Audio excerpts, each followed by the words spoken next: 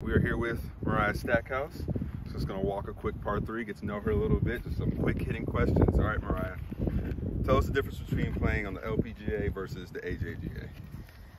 Um, you know, I think honestly the biggest difference is, uh, I mean, you're traveling week in and week out, back to back on the LPGA, so the travel schedule is a bit more intense, longer tournaments, four days.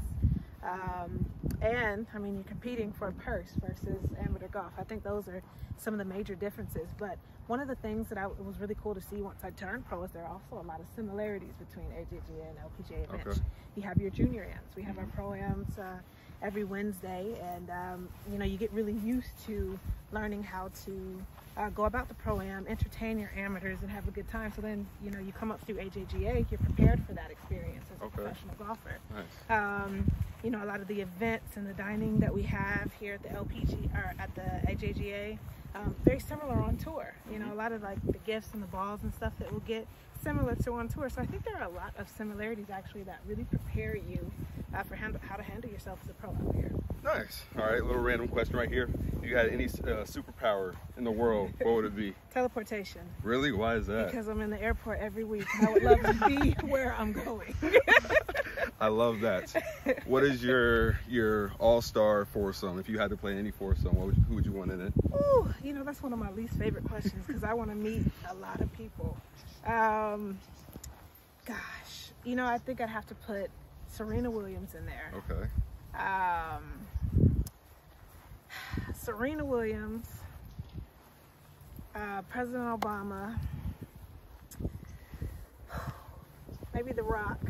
Am I part of the foursome? You are part of the foursome. Oh, then, well, There you go. up. Just let me know. Let me know so I can go watch that one. Um, what's your favorite memory on a golf course? favorite memory on a golf course for sure um, winning nationals uh, with stanford in, in, in 2015 Okay. yeah Nice, nice. Are you binge watching any TV shows at the moment? all american is what i'm binge watching at the moment Is it not too much for you? It's like it's like the perfect show for you. it's, it's a good show i mean i mean it's one of those you got to be emotionally prepared for though but uh, I've heard that. yeah I've heard that. Favorite club in the bag. uh, favorite club definitely my driver Okay. Why is that? You're the best. That's that's just what you feel it confident with. finds, it finds the fairway it's really loyal to me so Yeah, me and you are definitely very different. Very different. Walk up song. If you had any walk up song before you step up to the tee, what are we Let's playing? go. If you want, Okay. you can get it. That's what you know. Yep. yep. All right. Are you a beach or a city person? city i like the beach aesthetically Okay. but I don't actually get in the water that much. You know, I, I like to just go to the beach, hear the waves, but I don't actually get in. I think I, I prefer mountains over beach. Ooh, maybe. okay. Yeah. Okay. I didn't think about that one. What's your favorite activity outside of golf? Favorite activity outside of golf? I like reading. I like watching my shows, and I like FaceTiming my friends who Okay. live all over and never in Atlanta. So What's your favorite book? Or the one you mo- you read this most is, this- recently? This, is gonna be really silly, but I feel like the things that you like in your childhood kind of remain true. So Okay. the Harry Potter series. Okay. Okay. We got a Harry Potter fan behind the camera right now, so she enjoys that one. She Let's really go. does.